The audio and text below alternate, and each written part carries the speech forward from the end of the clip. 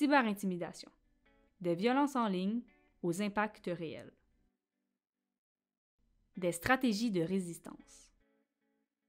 Les personnes ciblées par les violences en ligne adoptent plusieurs types de stratégies selon le contexte. Voici quelques exemples.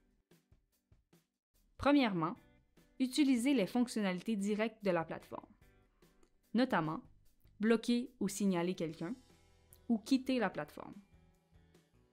D'autres stratégies se basent sur la gestion des comptes, comme configurer ses paramètres de confidentialité et de sécurité, mettre en place des options de modération, comme les filtres automatiques ou la modération par des proches, ou créer plusieurs profils, anonymes ou non, publics ou privés. Enfin, certaines stratégies sont collectives. Par exemple, jouer en équipe non mixte, créer des groupes de soutien ou signaler collectivement un individu problématique.